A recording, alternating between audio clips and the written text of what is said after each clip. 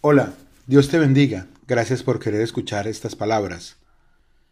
Hay una realidad que aprendemos y tal vez es uno de los primeros precios que pagamos por crecer.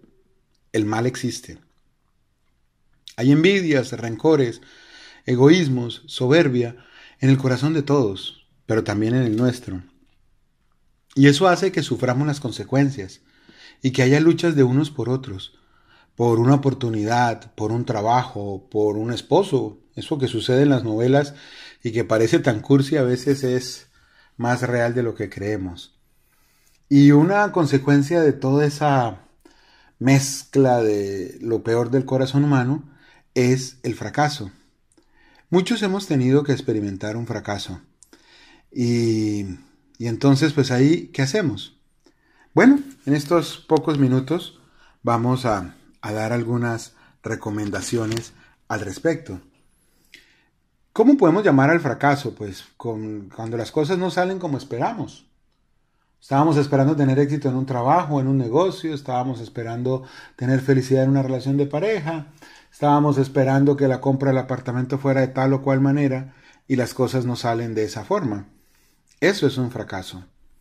La primera recomendación que te quiero hacer es la siguiente. Entre más rápido te levantes, más rápido encontrarás soluciones.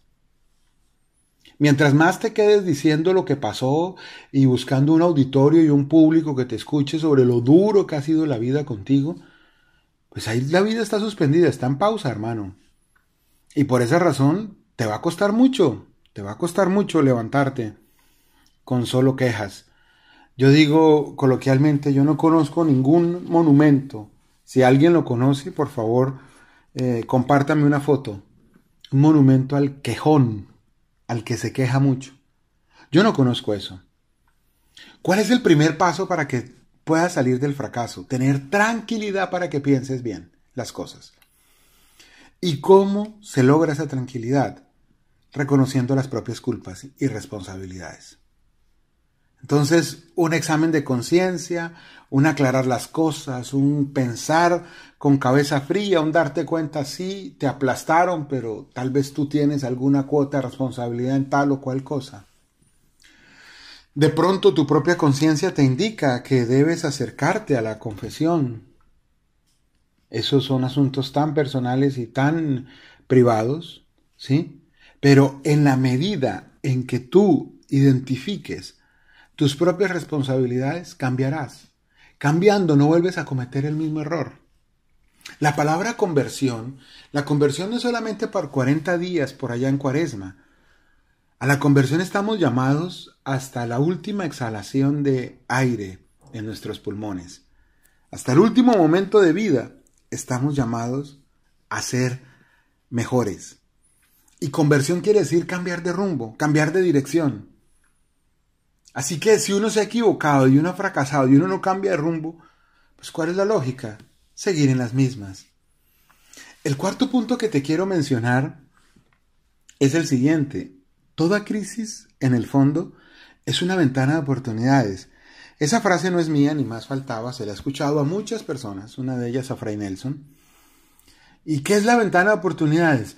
Un espacio corto, relativamente corto de tiempo en el cual pueden pasar cosas interesantes. Yo que he visto que es útil en cuanto a esto que estoy hablando de ventana de oportunidades. Yo he visto que el Señor toma los fracasos que vivimos, Dios toma esos fracasos para cambiar algunas cosas en nuestra vida. Un fracaso es como cuando tú coges un árbol y lo mueves, lo cimbroneas, es una expresión tal vez demasiado coloquial, lo agitas con fuerza y vigorosidad algunas de las ramas que no están verdaderamente unidas al árbol se caen. Y las hojas terminan de secarse en el piso. Un fracaso es eso, ver qué realmente es lo que es bueno en tu vida. Así que si tú aprovechas las crisis, te darás cuenta. Hablando de mi propia experiencia, cuando tuve un fracaso, me di cuenta que la forma como yo concebía mi tiempo, la forma de trabajar, de ganarme el dinero, no era la más adecuada. Eso es una ventana de oportunidad. Aprendí a dedicarme a otras cosas. Usted las está conociendo en este momento. Y el último paso, hay que pensar diferente. Hay que hacer las cosas distintas. Entonces, ese es el momento de arriesgarse uno y decir, oye, ¿por qué no lo intentamos de otra manera? Por supuesto, todo esto saldrá mejor si después de una confesión, si así lo consideramos o en cualquier caso, le pedimos la iluminación al Espíritu Santo. Amigos, no nos quedemos en que las cosas no salieron como esperábamos. Levantémonos, busquemos paz con nosotros mismos y con los demás, pidiendo perdón. Veamos la oportunidad que hay y pensemos diferente. Muchísimas gracias y si estas palabras son útiles para ti, te invito a que las compartas.